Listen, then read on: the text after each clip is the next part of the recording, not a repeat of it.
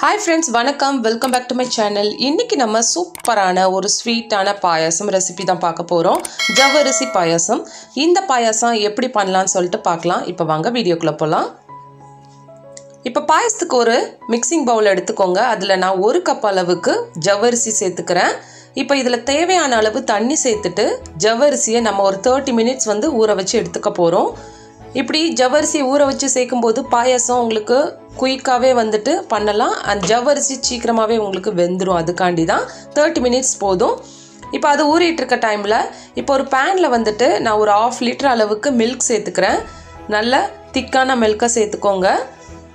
Medium ஃப்ளேமில் வச்சுட்டு பாலை கொதிக்க விட போகிறோம் இப்போ அந்த பால் கூடயே நான் ஊற வச்சு எடுத்து வச்சுருந்த ஜவ்வரிசி சேர்க்க போகிறேன் ஒரு கப் அளவுக்கு ஜவ்வரிசி சேர்த்துக்கிறேன். கரெக்டாக தேர்ட்டி மினிட்ஸ் நான் ஊற வச்சேன் நல்லாவே ஜவ்வரிசி சூப்பராகவே ஊறிருக்கு இப்போ பாலோடு சேர்த்துட்டு நல்லா மிக்ஸ் பண்ணிக்கோங்க. கட்டி இல்லாமல் அதை மிக்ஸ் பண்ணி விட்டுருங்க. இந்த பால் கூடயே அந்த ஜவ்வரிசியை நம்ம வேக வைக்க போகிறோம் அதுக்கு தான் நான் ஃபஸ்ட்லேயே ஜவ்வரிசியை சேர்த்துட்டேன். இப்போ கொஞ்சமாக தண்ணி சேர்த்துக்கிறேன். ஒரு கால் கப் அளவுக்கு தண்ணி எக்ஸ்ட்ரா சேர்த்துருக்கேன் பால் கூட. சேர்த்துட்டு நல்லா மிக்ஸ் பண்ணி விட்டுருங்க. இப்போ பாலை நல்லா கொதிக்க வைக்க போகிறோம் இது கூடவே நான் கண்டென்ஸ் மில்க் சேர்க்குறேன். ஒரு கால் கப் அளவுக்கு கண்டென்ஸ் மில்க் சேர்த்துக்கிறேன்.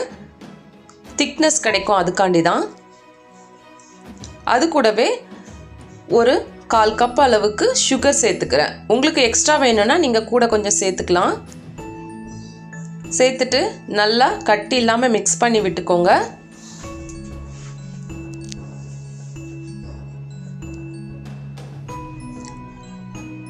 இப்போ பாலையும் ஜவ்வரிசியும் சேர்த்துட்டு நம்ம நல்லா கொதிக்க விட போகிறோம் ஸோ மீடியம் ஃப்ளேமில் வச்சுட்டு கொதிக்க விடுங்க. இப்போ பாருங்கள் ஜவ்வரிசி சூப்பராக வெந்துடுச்சு. குயிக்காகவே வெந்துட்டு ஏன்னா நம்ம ஆல்ரெடி சோக் பண்ணி வச்சுருந்தோம் அதனால தான் ஸோ ஆல்மோஸ்ட் வந்து நம்ம பாயாசம் வந்து நம்மளுக்கு ரெடி ஆகிட்டுருக்கு இந்த டைமில் கொஞ்சமாக வந்து காடமம் சேர்க்குறேன் ஏலக்காய் பொடி சேர்த்துக்கிறேன். நல்லா மிக்ஸ் பண்ணி விட்டுருங்க. நீங்கள் வந்து பால் எக்ஸ்ட்ரா வேணும்னா கூட சேர்த்துக்கலாம். உங்களுக்கு நல்லா லிக்யூடாக வேணும்னா. இப்போ கொஞ்சம் நான் திக்னஸ்காண்டி ஒரு டேபிள் ஸ்பூன் அளவுக்கு நான் அரிசி மாவு எடுத்துக்கிறேன். அதில் கொஞ்சமாக தண்ணி ஊற்றிட்டு நல்லா மிக்ஸ் பண்ணிக்கோங்க.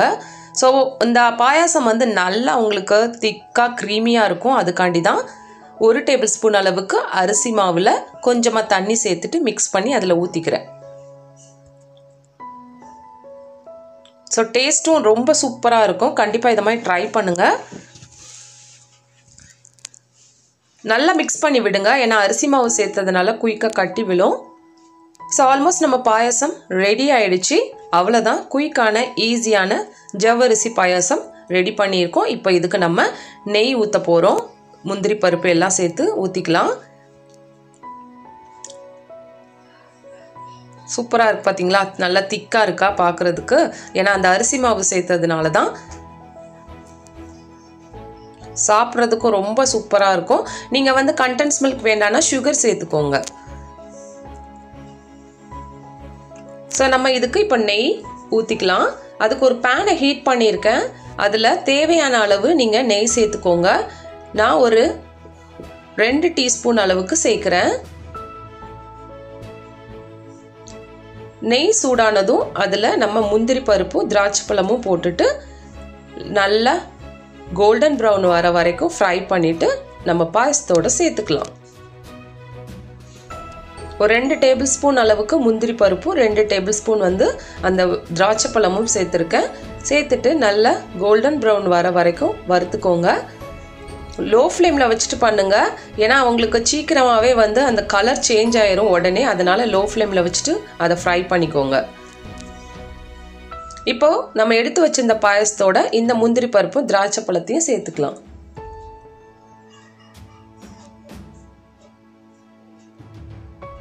ஸோ நம்மளோட சூப்பரான யமியான பாயசம் ரெடி ஆயிடுச்சு. இப்போ நம்ம இதை சர்வ் பண்ண போகிறோம் நீங்களும் இதை மாதிரி கண்டிப்பாக ட்ரை பண்ணுங்கள் ட்ரை பண்ணிவிட்டு எப்படி வந்துச்சுன்னு சொல்லிட்டு என்னோட கமெண்ட் செக்ஷனில் மறக்காமல் உங்களோட கமெண்ட்டை போடுங்க. நான் இன்றைக்கி இந்த பாயசத்தை சாப்பிட்டு என்ஜாய் பண்ண போகிறேன் கண்டிப்பாக நீங்களும் ட்ரை பண்ணுங்கள் அரிசி மாவு வந்து நீங்கள் உங்களோட ஆப்ஷன் தான். நீங்கள் திக்காக வேண்டாம்னா நீங்கள் சேர்க்க வேண்டாம். பட் சேர்த்திங்கன்னா உங்களுக்கு டேஸ்ட்டே ரொம்ப சூப்பராக இருக்கும்.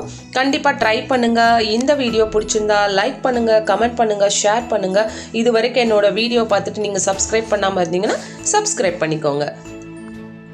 தேங்க்யூ ஃபார் வாட்சிங் பாய்